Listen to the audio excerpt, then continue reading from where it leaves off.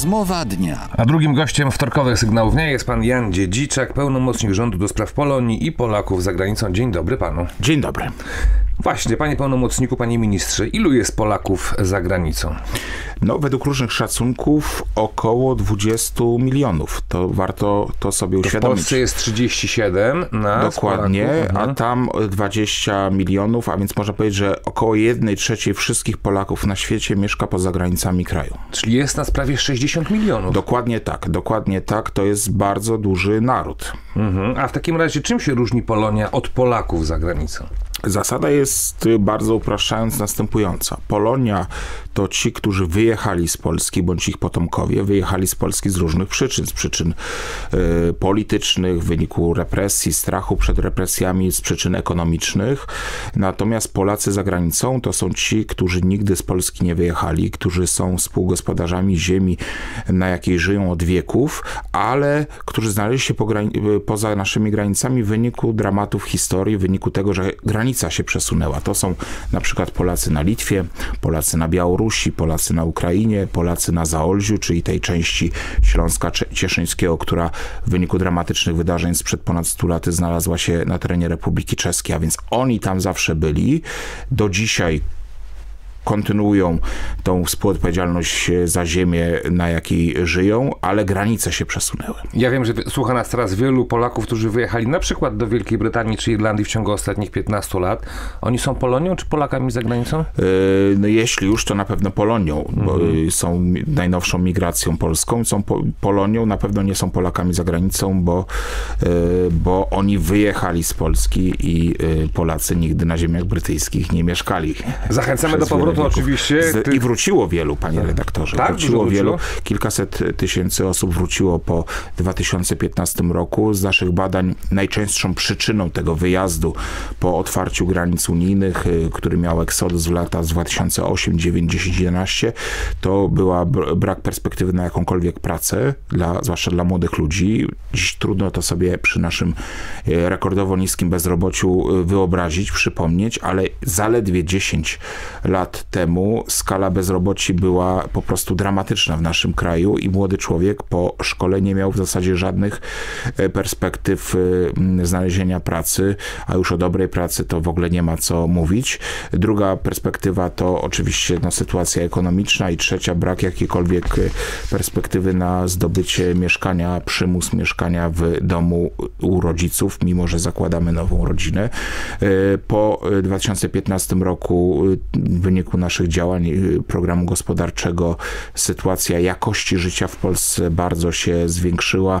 Mm, To e, niskie bezrobocie, to w zasadzie bicie się o pracownika przez pracodawców, bo tak ta sytuacja e, wygląda i wreszcie te wszystkie programy 500+, wyprawka 300+, a teraz ruszamy z programem mieszkaniowym, czyli tym dwuprocentowym kredytem, więc wszystkie przyczyny wyjazdu zostały mm, bardzo ograniczone. Drodzy Państwo, to warto podkreślić, ponieważ Polska była krajem, który od setek lat zmagał się z problemem nadmiaru rąk do pracy. Brak bezrobocia to jest kwestia ostatnich lat, to można powiedzieć sukces wręcz historyczny. Tak, to sukces wręcz historyczny i uwaga, na tle całej Unii Europejskiej jesteśmy w- prymusem, zwłaszcza, podkreślmy to, jeśli chodzi o ofertę dla młodego człowieka.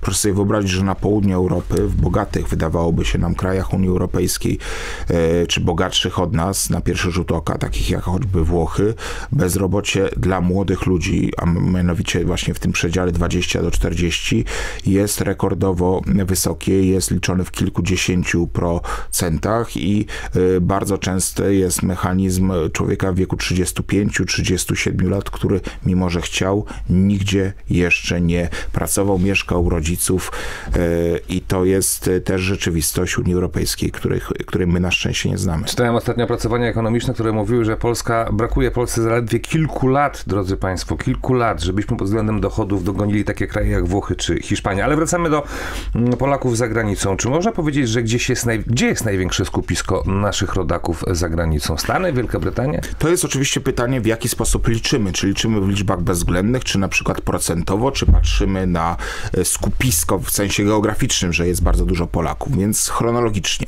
Oczywiście numer jeden to są Stany Zjednoczone. Z tych 20 milionów Polaków, około 10 milionów Polaków i osób polskiego pochodzenia e, żyje w Stanach Zjednoczonych. Ale tu może naszych słuchaczy zaskoczę, bo poza tradycyjnymi krajami migracji, gdzie jest nas e, około miliona, takich jak Wielka Brytania czy Kanada, e, to oczywiście też są Niemcy, Francja, ale uwaga, według różnych szacunków, w zależności od tego jak się liczy, około dwóch, nawet do dwóch milionów Polaków żyje w Brazylii. Brazylii? Potomkowie mhm. naszych emigrantów, którzy opuścili tereny zaborów za chlebem na przełomie XIX i XX y, wieku.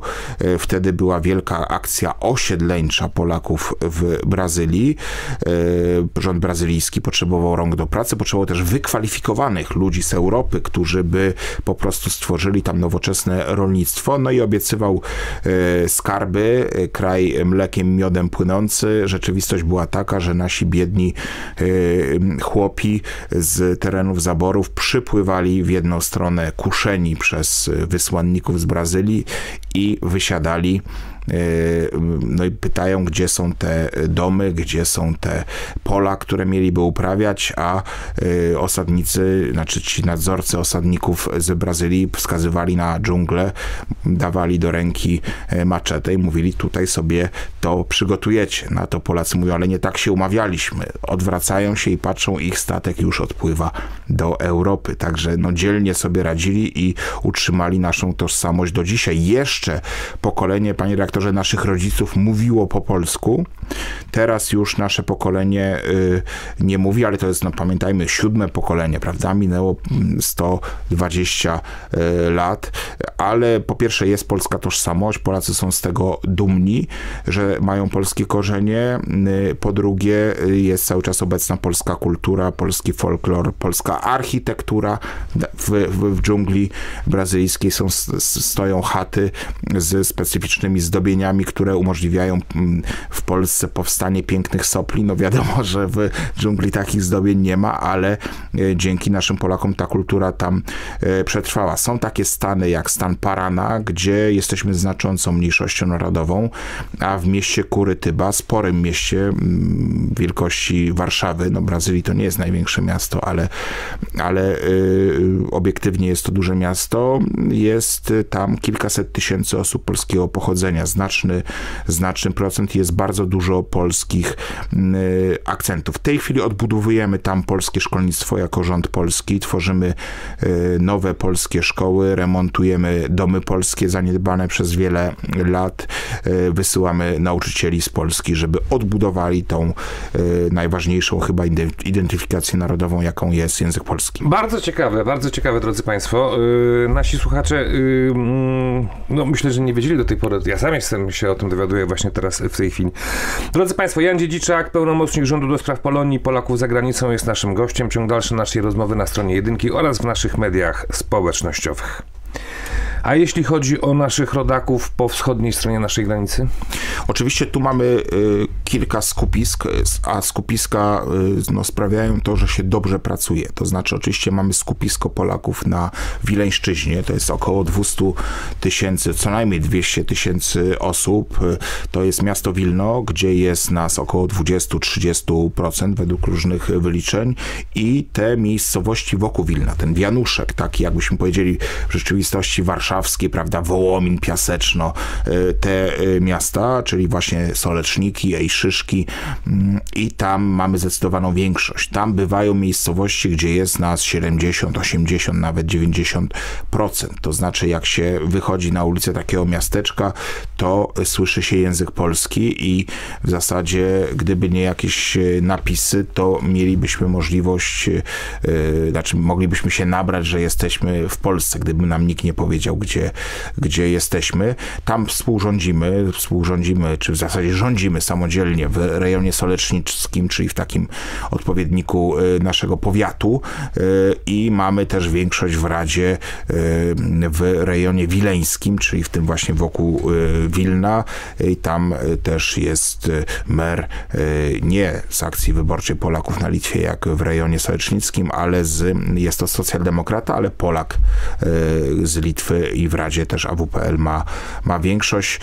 No w Radzie Miasta Wilna mamy kilku radnych, przez lata nawet współrządziliśmy Wilnem. Mamy w parlamencie, w Sejmasie też naszych przedstawicieli, a nawet poseł do Parlamentu Europejskiego z, z Litwy jest Polakiem, pan Waldemar Tomaszewski e, jest Polakiem, jest zresztą we frakcji wspólnej z e, moją partią, z Prawem i Sprawiedliwością.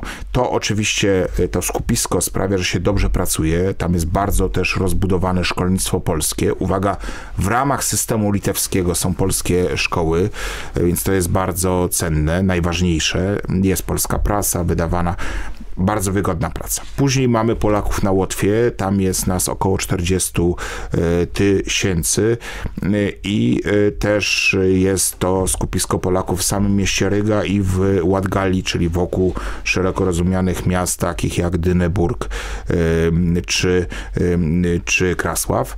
Wreszcie, i tam mamy też kilka szkół polskich nawet w łotewskim systemie edukacji, obok licznych szkół społecznych, czy, czy tych, prawda, przy kościele katolickim. E, później mamy Białoruś, tam też jest skupisko Polaków szeroko rozumianej e, ziemi, prawda, e, grodzieńskiej czy południowej Wileńszczyźnie i to też jest wygodne miejsce do pracy, to jest kilkaset tysięcy Polaków, natomiast no tu nie nie musimy chyba podkreślać tego, że Polacy są poddani odrażającym represjom przez reżim Łukaszenki. Przypomnijmy, warto, trzeba to o tym mówić, że pan redaktor Andrzej Poczobut jest już drugi rok w więzieniu. Został skazany, uwaga, na 8 lat kolonii karnej e, pod absolutnie absurdalnymi e, zarzutami szerzenia nazizmu i wzywania do właśnie narodowościowych. Wreszcie mamy Polaków na Ukrainie i tu ciekawostka, głównym skupiskiem Polaków na Ukrainie jest ziemia którą byśmy nazwali no, Żytomierszczyzna, środkowa Ukraina. Nawet Sowieci myśleli o takim e, okręgu autonomicznym o nazwie Marchlewszczyzna, to dość ponurej nazwie, ale, ale i to y, jest taki paradoks, że dzisiejsze skupisko Polaków jest wokół, y, wokół mm, terenów, które do drugiej RP nie należały. Do pierwszej należały, a do drugiej RP nie należały. Stamtąd jest właśnie choćby Paderewski czy, czy y, Józef Konrad Korzeniowski. To z tych terenów oni po, pochodzą.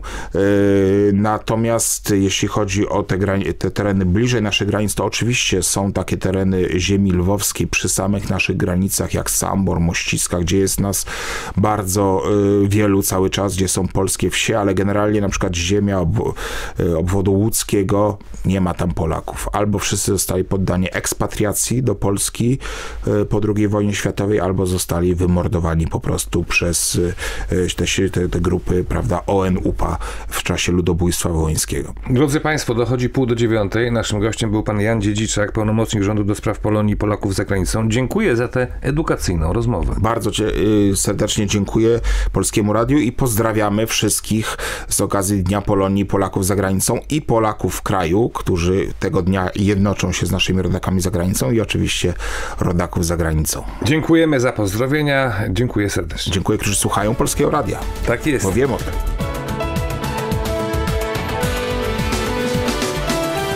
Była to rozmowa dnia. Udostępni ją portal informacyjny polskieradio.pl.